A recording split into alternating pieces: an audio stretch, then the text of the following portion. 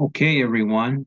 Um, my machine here says that we are recording. Okay, I'm having some technical technical difficulties, excuse me. Trying to get my face on here, but I don't think you'll miss my face. So um, as long as you can hear my voice, that's the most important thing, and I can go over the lecture. All right. Um, so this is the first lecture of uh, 2023. Class is scheduled for January the 9th. Okay, this is the, uh, is the winter schedule. Okay, so let me proceed with what I have to do here.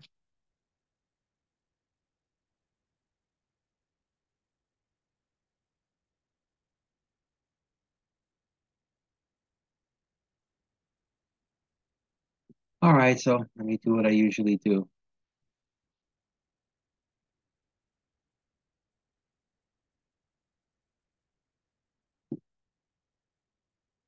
There we go. Okay, so school code is ENG 107. And this is English composition and reading, so kind of a dual subject uh, class. Hopefully you like it. I hope you remember the name of your school, right? Is it the School of the West or the School of the East? School of the East, please don't forget that. All right, so let me proceed. And hopefully we'll, you know, this will be the first class of the quarter and we'll get into it, you know, have a good time. All right. All right, here we go. A process for every writer. And the man says, I am terrible at astrophysics.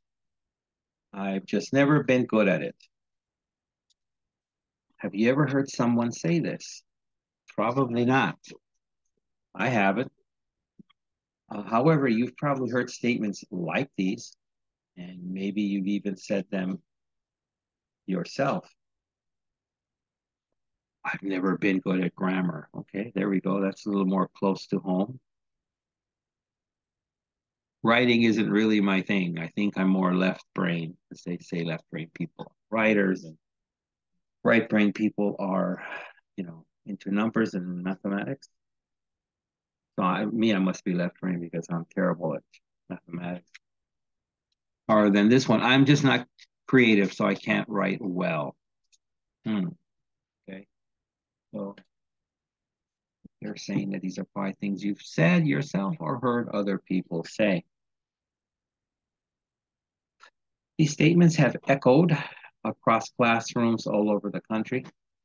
And the response from most teachers of writing is the same. Okay. Are you ready for the magic? Writing takes practice, like most things, unless you are a natural, right? Uh, no one ever woke up being good at astrophysics or mountain biking or piano playing.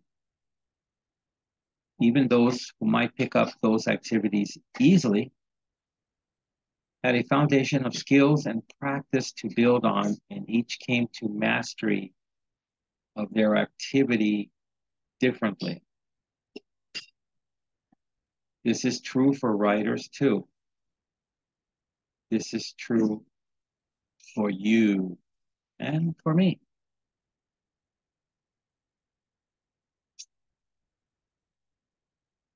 Here's the key here. Don't forget this. Maybe it'll show up on the midterm. Writing is a process. Okay. And although many writers follow a similar process, each writer is unique. That means you, me, and brother Phil. Think of your writing process as your fingerprint. It has the same characteristics as most fingerprints of most people, male or female. Swirls and lines and patterns, but yours is unique to you. The key in writing well is to know your process and make it work for you. Next, what is a writing process? So there you go. your right is what they're saying here is your writing technique, which is your process, is unique to you. So learn what it is, learn where your ability is, and then make it work. Now we're going to get into so what is a, a writing process? Here we have the basic writing process chart. So in the category of audience and purpose, people reading what you do and then what you're trying to say. That's your purpose. You define the audience, who you're writing for, define the purpose, what you're writing about, and then understand the assignment. So that's if you're in a writing class and the teacher says, I want you to write flowers. You to write on this protest that's happening downtown. Next category is exploration. Explore and choose ideas explore and choose topic. Okay, obviously this is not the assignment from the teacher. This is when they let you do free writing, say write whatever you want about. So, excuse me, you should write down a list of ideas, explore them, and probably pick the one you can write the most on and the best on. Not, oh, I like this topic, but I don't know anything about it. Uh, then you're gonna have to do a lot of research and you might not have that opportunity in class. It's a pop quiz, and then you get to choose the topic too. So the topic is a broad spectrum, and you can fill that in with smaller ideas as you go along. Next is your thesis. Articulate a thesis or claim, you know, like uh, you feel Del Taco is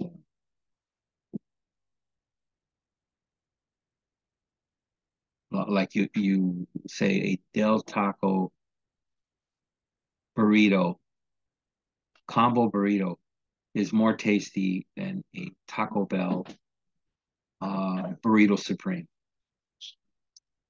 That's what you put forth, and then you're going to have to put, which is find and create content ideas that support this. So you're going to realize you can't make any type of a statement like just, hey, it's better. You have to prove it. So you have to have ideas that support it. Like, uh, I was, uh, I mean, I'm being silly about the topic, but you could write about it. So, a uh, number of years back, people started complaining that uh,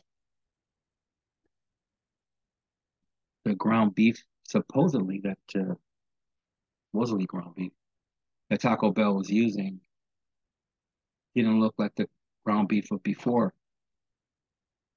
And uh, so they, they didn't sue Taco Bell, but they protested and forced them to uh, have it analyzed. And they had it analyzed in a laboratory. They said, well, findings is that it's not actually beef, but you can eat it, right? And then uh, Del Taco has always come forth, and the ground beef looks like ground beef. So that's a point you could use in your support, and maybe you could attack attack something like maybe they use uh, you know, milk cheese or something at Taco Bell, and uh, Del Taco uses real cheddar cheese. So you have to prove it. You just can't say it just to you, it tastes better. And then here we have organization. Select the best organizational strategies. You do that by outlining the plan. So uh, this the way you should think about that is just like you were up here and you chose ideas and topics, uh, find which one of your points really is the most important or that most people will listen to, right? So again, I'm trying to make this, you know, this silly comparison, but it's true. You could write on it and it's very easy to understand. probably more people are worried about fake meat, fake or like fake beef from Taco Bell. So that could be when you concentrate a lot of your writing on. They would be more worried about that than, well, you know, they use a cheaper milk cheese. The punch is really in, well, if it's not beef, you know, you say it's safe, but it's chemicals. What kind of chemicals? I don't think that's good for my body, right? So you outline a plan and you select the best operational strategies that will get your point across. All right. Next, we go into drafting. Okay, write the body of the paper. That's the middle part. Introduction is the first part, if you remember. So the middle part's the fullest part.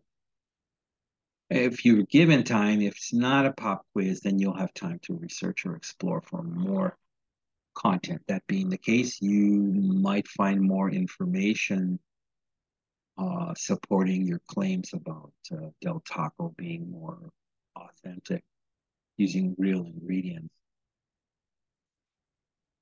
Who knows, you might find out that Taco Bell's uh, tortillas are even fake, right? Uh, next, working on an intro, conclusion, and title. So there you go. I want you to write the main part first, all the, excuse the joke, beefy part, and then work on your introduction, which again grasps your reader's attention. And the conclusion at the end, which is kind of like your, it's your final point and your summary. And then the title last. Now that might be confusing. Some people might say, oh man, don't you put the title first? Isn't that what you're supposed to do? You know? But in my experience, it's interesting. You come up with a snappy title, but you know, uh, strategy-wise, especially if you're pressed for time, a lot of people waste a lot of time trying to come up with a snappy title. And then sometimes they kind of have to struggle trying to write a paper that kind of fits the title. When the better strategy, given to me by, you know, excellent writers, is write that body, write the end to write the conclusion. And then when you're done with the paper, a lot of times the perfect title jumps out from the paper which is the difference of trying to write. Think of a title first. Okay, so it's just some strategy for you. And then the revising, refocus on audience and purpose. So when you revise it, you go over it and throw out the mistakes or throw out parts you think are unnecessary or too long. And then go back over again on your audience and purpose and see if you have gone away from your purpose or your audience. So, for example, uh, again, let's say your audience is senior citizens, right? And that's how your paper started, the intro. But through the body and by the conclusion, you started talking mainly about young adults. Well, you've changed the audience of your paper. So you're going to have to revise it. Okay? And the same with your purpose. If you started with the Del Taco combo burrito versus the Taco Bell uh, burrito supreme, but by the end of your paper, you're talking about chicken McNuggets that are not really made of chicken and they come out of a tube well, you're completely off track now. You're still in the fake food business, but that's not what your paper was supposed to be about. It's Del Taco versus Taco Bell. So if these are things that you've done, then you have to make major changes in your paper. Okay. And then use peer review and other feedback. So like, you know, if you're given a paper to write and so they give you so much time, once you write it, uh, if you have a classmate that you're friends with or your roommate, brother or sister, they're your peer, so let them read it, give you feedback. Say, this paper sucked, or hey, this is good stuff, or you know, if you're just looking at pure criticism, the guy might say, I'll never eat at Taco Bell again. Thanks for letting me know these secrets of Taco Bell's fake food. So you always need a third person to look at it. Okay. And then once you have your changes mapped out, you can redraft it. All right. You have to do it again, but this is all. Uh, some writers say this is the most important part of your paper is revising it. Most people really don't like doing it once they finish writing the paper. They're like, that's it, I'm done, I'm tired. But this will save your score many times. Okay. And then it has to be more thoroughly done. That's editing. So you edit for what? Consistency. Again, don't go off purpose. Don't go from burritos to chicken McNuggets. Okay. And then you edit for style. Uh, that being said, are, is yours the style? Is it just like a fact for fact? Is it uh, kind of a funny style with some facts, but funny situations thrown in? You know, so you have to edit which is the better style uh, that you should use, or an angry. There's a lot of people that write angry papers now. So is it an angry style? Like, how dare they, you know, and what they charge and those chemicals have been found to, you know, make horses crazy. What is that doing in my, you know, burrito sauce? So, um, yeah. And then check sources and research. So you got to check, uh, if you have the time and they let you research, research sources, make sure your sources don't come from the Onion, which you know is the fake paper from New York. Make sure they come from reputable sources, which is kind of tough nowadays since we have a lot of fake news running around.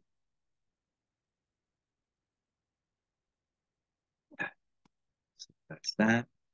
And then, of course, you proofread, which may I think is even more annoying than doing revising. But you fix grammar. That's where you find, oops, why did the sentences in past tense and I wrote the, the verb conjugation in future? What was I thinking? And the same thing with spelling. And then capitalization errors. Sometimes you need a capitalization book. Some things needed to be capitalized or you thought they were capitalized and then they're not. So, and then you just look for small missed errors and consistencies. I'll let you know if you don't know already. Some professional writers, like I said, um, they don't like this revising and proofreading. When they finish their paper, they will pay someone because they're going to get paid for the article.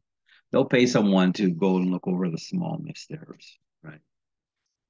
Right. Or do it on a computer, you might have a spell check. Okay.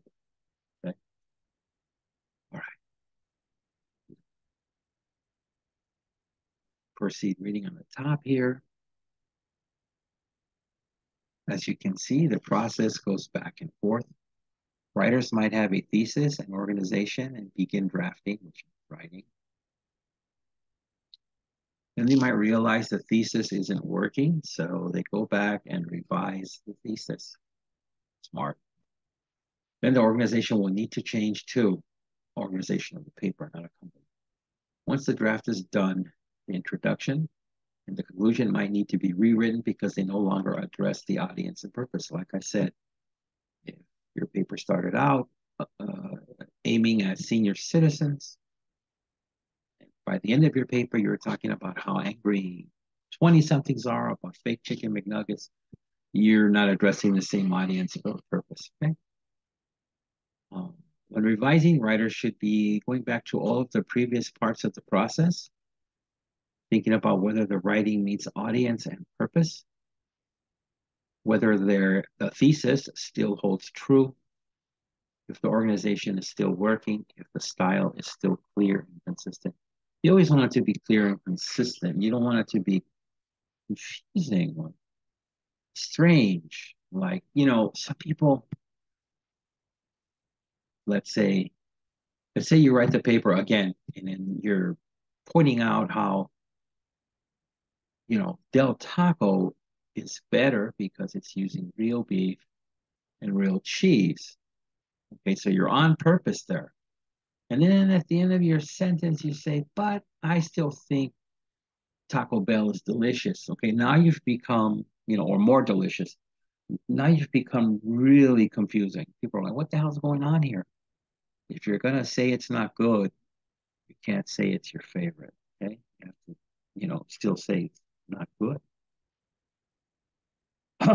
revising sometimes means scrapping everything, means throwing everything away and starting over. Yeah, you might not like it at all, or there might be too many uh, kinds of problems in the unity of the paper. And you say, or you know, some people don't have enough. That's why I, I said make sure you write that body first. You got to make sure you actually have enough information to make it good and meet the length requirements all writers have a process. So you'll learn yours as you do your papers, and then you'll be quicker to write these kinds of things. Let's look at an example, something we do all the time, like writing a grocery list. Even writing a grocery list is a process. Did you know that? Hmm, I bet you didn't.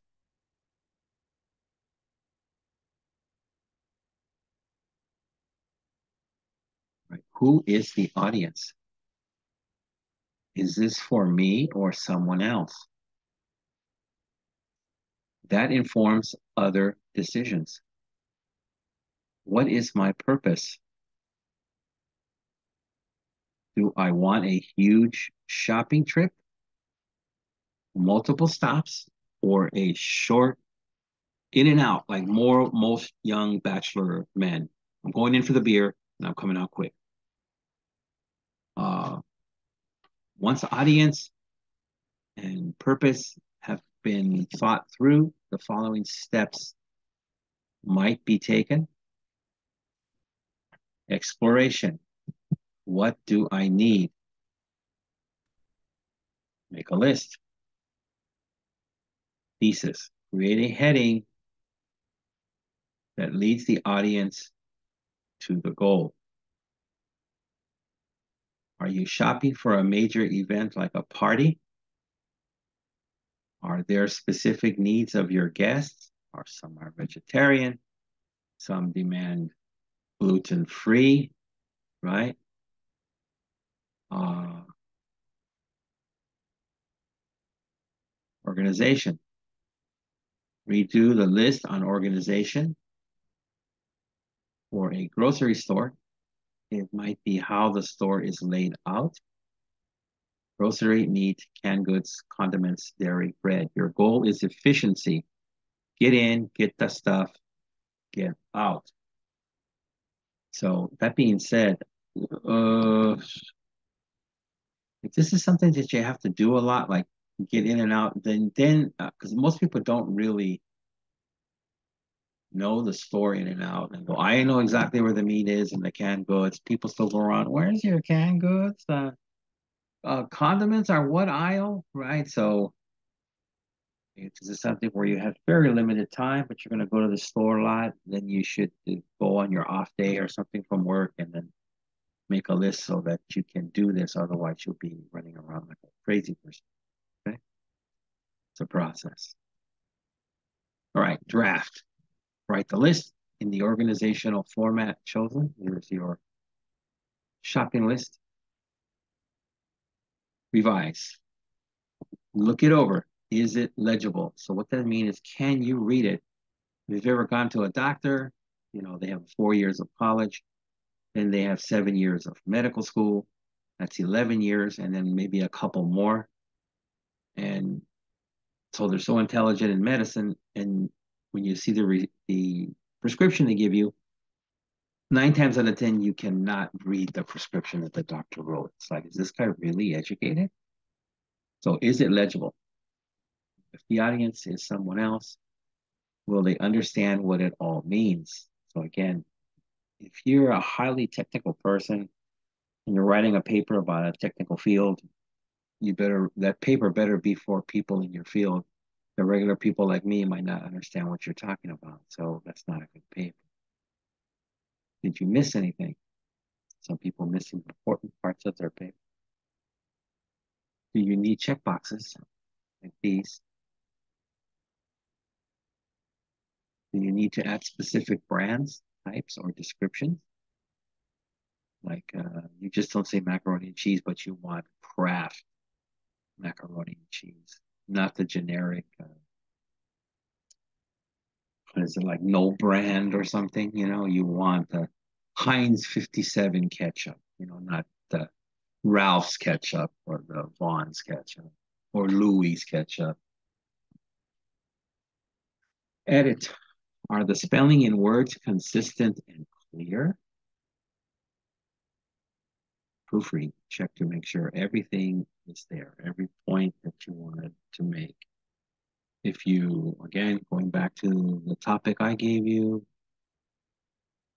if you said that Taco Bell was, I mean, uh, Del Taco was better, but you forget to show why the beef is better, you just talked about the cheese, then uh, not everything was done. All the boxes were not checked. So throughout the rest of this book, this process shown simply in the example above will be explored and explained in detail. In writing, the trick is to find your process, see what you do and how you do it. That should be one, so can make sure everything's there. Okay, think about the kind of writer you are. What kind of writer are you? Are you a sprinter? Remember, sprinters run very fast for a very short time. Do you have lots of ideas and want to get them quickly? If so, you probably skip to drafting and spend a lot of time on revising. Try spending more time on the start of the process. Spend more time on defining audience and purpose and on exploring and planning. Then revising might not be a Herculean or giant task. Are you a jogger? I mean, someone that can run for a long time, many miles. What is a marathon? 26 miles. Do you try to go through the writing process one step at a time? Maybe some parts are harder than others like organization or writing a thesis.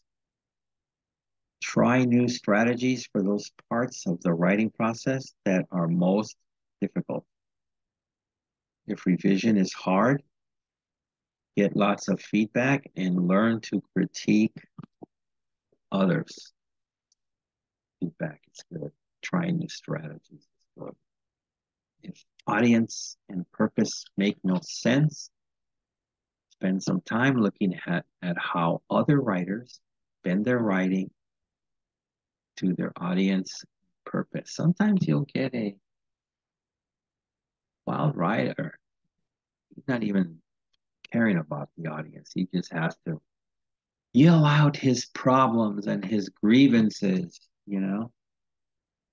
But then again, I don't know who is going to be the bulk of uh,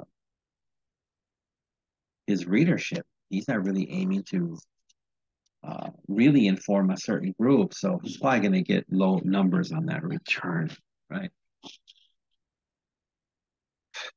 Next is, are you a tightrope walker? You want everything to be perfect before you set it down on paper. Oh, those kind of people don't do well with deadlines. You're a perfectionist. So you probably spend a lot of time at the start of the writing process, but have more time or trouble that is revising, like I mentioned earlier.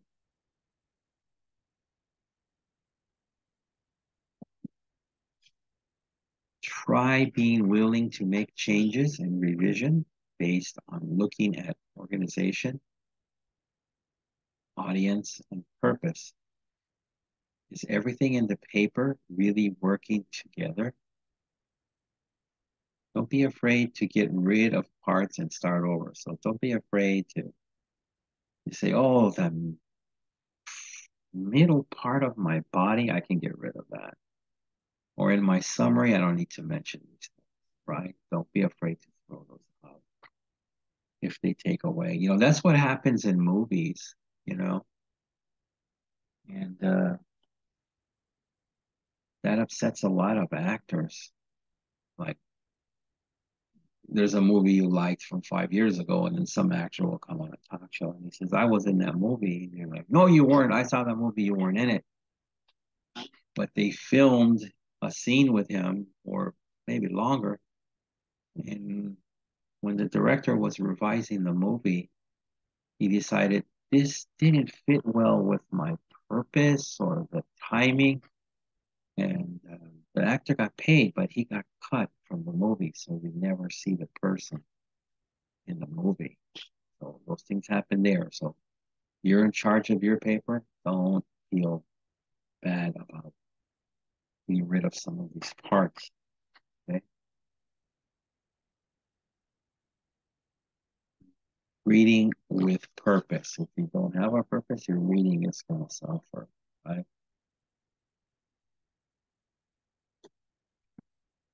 Starting at the top here. Even if you consider yourself not much of a reader, you read something each and every day. Magazine article, instructions for hooking up the DVD player, telephone messages tacked on the refrigerator, notes from your latest heartthrob, or what we call now crush. Regardless of what you are reading, you have a purpose that dictates or tells you how you are going to read it. And you read different items in different ways. You wouldn't read the DVD player instructions as you would a novel of different styles any more than you'd read a magazine article in the same way as a grocery list. Without purpose, you'd find yourself reading aimlessly and very inefficiently. Fortunately, many of the students I've talked to have not yet realized the importance of having a purpose for reading. Yeah, uh, what's my purpose? I don't know. I don't have any idea. Their lack of reading purpose can be summed up by the proverb if you aim at nothing, you will hit the bullseye. every time. So if you don't catch that, it's I'll give you a, a different way to look at that. What they're trying to say, it, they're trying to say is, if you don't try to accomplish anything, then you will be successful every time because you're not putting in any effort, you're not going to accomplish anything, and then you don't do it. And hey, you're a success at not accomplishing, right? Next. Before you can understand what you're reading and remember it, you must know why you're reading it in the first place. Right. You can't be sitting there and then someone says, What are you reading? Uh, it's a comic book. Why are you reading a comic book? I don't know. Uh, uh, right? You gotta know why you're reading whatever you're reading, novel in the first place. So you have to define your purpose for reading. What is your purpose for reading? If the best, the best answer you can come up with is because my teacher said I had to, we need to uncover some better reasons, right? Reading a chapter just so you can say, I finished my assignment is relatively futile, which means like hopeless. So what they're saying, some people just read a chapter. Okay, I finished it. And they don't remember anything they read about because they were just speeding. What it starts on page two and ends on 20. Okay, I'm just going to try to read this as fast as I can. And you ask them some of the points that were covered in that first chapter, and they're like, I don't know. I just, uh, it was about oranges, uh, but I finished it in an hour, so let me leave me alone, you know. Uh, if that's the case, you may as well put the book under a pillow and hope to absorb it by osmosis. So osmosis, they teach you that in biology class. So they're trying to say, put it under the pillow, and hopefully you can absorb the reading knowledge through the pillow from the book, right? which is not going to happen. Unless you identify some purpose for reading, you will find yourself flipping the pages of your textbooks while seldom retaining anything more than the chapter titles. Right, and that's what we'll do. Well, chapter one was oranges, chapter two was a kumquat, three was a pomegranate. Okay, so what about the kumquat? I don't know. They're tiny. What about a pomegranate? What did you read? See, that's all you'll get. So, according to reading experts, there are six fundamental purposes for reading. One, to grasp a certain message or understand a certain message. Two, to find important details. Three, to answer a specific question. Four, to evaluate what you are reading. Don't those. Maybe they come on the homework. Okay. Oh, five. Okay. To apply what you are reading. To be entertained. Yes, sometimes it's just for entertainment. Applying what you're reading might be like reading a art book and it's telling you like how to fix the brakes, you know, work on a catalytic converter, who knows, right?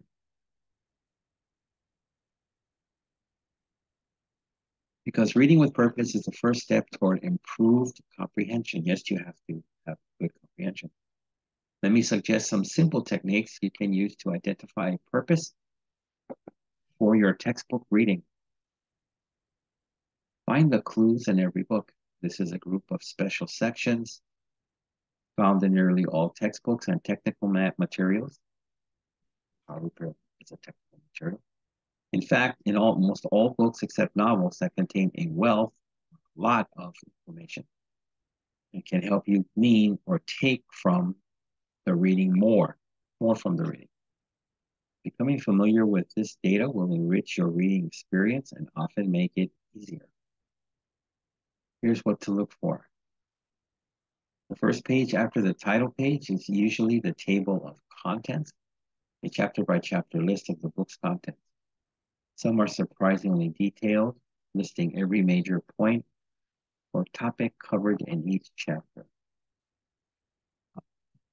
Next, at the top, the first prose section after the title page, table of contents, and perhaps an acknowledgement page is the preface, the description of the information you will find in the book. Authors may also use the preface to point out unique aspects of their book. The introduction may be in place or in addition to the preface. Written by the author or by some name the author has recruited to lend additional prestige or respect to his or her work. Most introductions are even more detailed overview of the book. Chapter by chapter summaries are often included to give the reader a feel for the material covered, to keep you up to date and really know what's going on. Not uh, pomegranates red. Footnotes may be found throughout the text. A slightly elevated number following a sentence, quotation, or paragraph e.g. chim, dandy. And either explained at the bottom of the page, which they appear, or in a special section at the back of the text. Footnotes may be used to cite sources or direct quotes or ideas, and or to further explain a point or add information outside of the text. You may make it a habit to ferret out or look for sources cited for further reading. If a text tends to use an alarmingly large number of terms, which you may not be familiar, the considerate author will include a glossary, essentially an abridged dictionary that defines all terms. The bibliography, usually at the end of the book, may include the source material the author used to research the textbook, a list of recommended reading or both, It is usually organized alphabetically by subject, making it easy for you to find more information on a specific topic. Appendices containing supplementary data or examples relating to subject matter covered in the text may also appear in the back of the book. Last thing in a book is usually the index, an alphabetical listing that references by page number every mention of a particular name, subject, and topic in the text. Making it a habit to utilize all of these tools in your textbook can only make your studying easier. It's kind of like free notes. Okay. Continuing. Look for clues in each chapter. Every textbook offers some clues that will help you define a purpose for reading. Begin with very few quick overview of the assignment, looking for questions that you'd like answered. Consider the following elements of your reading assignment before you begin your reading. Much like the headlines of a newspaper clue, you into what the story is about. These elements will give insight into what the section or chapter is trying to communicate. Chapter heads and subheads.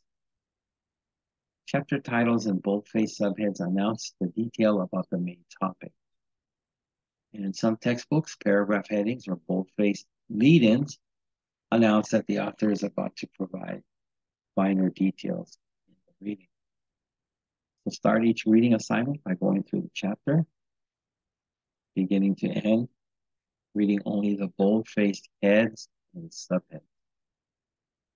For example, suppose you encounter the heading, The Fall of Communism, in your history textbook. You might use it to formulate the following questions. What caused the fall of communism? Who caused it? When did it fall? Why did it fall? Where did the fall occur? As you read the chapter, you find yourself asking these, seeking answers to these questions. You now have a purpose, right? So you just read the heading about the communism and then make your own questions and then look for the answers of your and uh, you will know.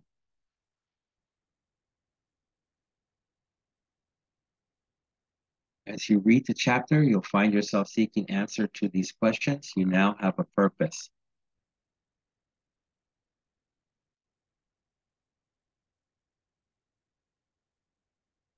Often you may find headings that contain words or terms you don't recognize. Seeking to define these terms or explain a concept should then define your purpose. This process of headline reading takes only a few minutes, but it lays the groundwork for a more intelligent and efficient reading of the chapter. You'll have some idea of where the author is headed, which will give you a greater sense of what the most important details are and clarify where you should be concentrating your studying. End of chapter summaries. These are good and juicy with a lot of information. If you read a mystery from start to finish, the way the author hopes you will, you're likely to get thrown off the scent by red herrings and other common detective novel devices. Red herrings are something they want you to get interested in that takes you away in these detective novels from the truth, right? However, if you read the last page first, Knowing the outcome will help you detect how the author constructed the novel or built the novel and built an open and shut case for, for master sleuth or inspector. You'd perceive a wealth of details about the eventually unmasked murderer that might have gone unnoticed had he been just another of the leading suspects. They usually have that like dinner party. But well, who is it? It can't be that guy. Similarly, knowing what the author is driving at or pointing to in a textbook will help you look for the important building blocks for these conclusions while you're reading. How do you get that? you read the last page first. Know what the end game is. It may not be fun to read a mystery novel this way because you want to read it and be shocked at the end, but when it comes to your textbooks, it will help you define your purpose for reading. So you're after that assignment right now, not being entertained by detective novel. And further, it will transform you into a much more active reading reader. Again, looking for purposes, answering question making it less likely you'll doze off or fall asleep between the fall of Rome and the Black Plague. Okay. Composition. Questions. What does it take to get good at writing? Okay, that's your first question of the first week. Two, why is writing like a fingerprint? I mentioned this earlier.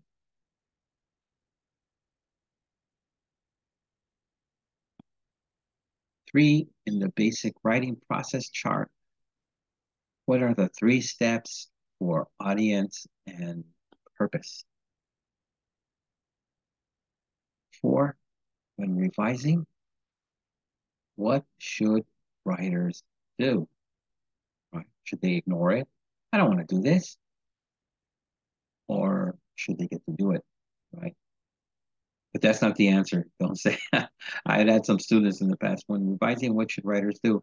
Revise. That's not the answer. Okay, folks? Next, you should be willing to make changes in revision based on what? Okay, so this one is kind of like saying, why do you revise? What are the reasons? That what that's what this question is saying. You should be willing to make changes in vision based on what? What are the reasons? Okay. Now we have our reading questions. One, how will you read if you don't have a purpose? Very important. That's the one thing you get from this quarter's class. It should be that answer. Next, what are the six fundamental purposes for reading? I hinted that this might be questions, and it is. So, uh, I'll, I'll be kind. I'll even give you one of the six. The last one, which is uh, one purpose is just for entertainment, right? So I know this is second question. It's like six questions in one, but you know, I'm trying to get you to know all the material. So I'm telling you that of the six, the last one, number six, is reading just for entertainment.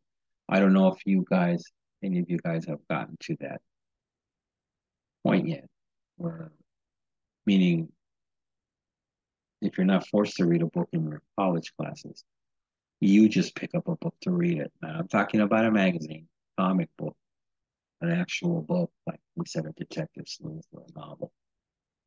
You know, so hopefully you can get to that point number six. All right.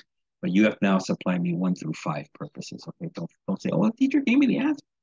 There's six answers here. I gave you one. Okay. Next, name some tools in your textbook that can make your reading easier. So they listed a few tools there to make it easier. It's not as long of a list as two. So you should enjoy that better. Or you should start reading from beginning to end by only reading which things. Uh, they're talking about looking for main points here, which you know what to do. But don't forget the technique I just showed you for trying to read a detective novel helping you find a purpose if you're really, really stuck. I don't know what's my purpose for the writing something. So you read these things and the practice will give you the purpose. If you spend some time reading headlines, how will this help your reading? So explain how reading these headlines will help you. If you remember, we talked about the one, the example was uh, communism, right? If you read the headline, how can this help your reading? And then how does that turn into your writing? They kind of mold into each other. Okay, so I think that's it, right? Right. Okay, so I just try to bring us in easy the first week. I'm letting you guys go a little bit early, right? A little bit under the, the time frame because uh, it's tough. This is probably the toughest uh, break to come back from the holidays, you know, Christmas and New Year's. And it's really tough to get back into school. So, like I said, today's lesson's cut a little short. So, uh, I shall uh, let you go and look forward to seeing you on the 16th of January. Okay. And um, there we go. So take care, everyone.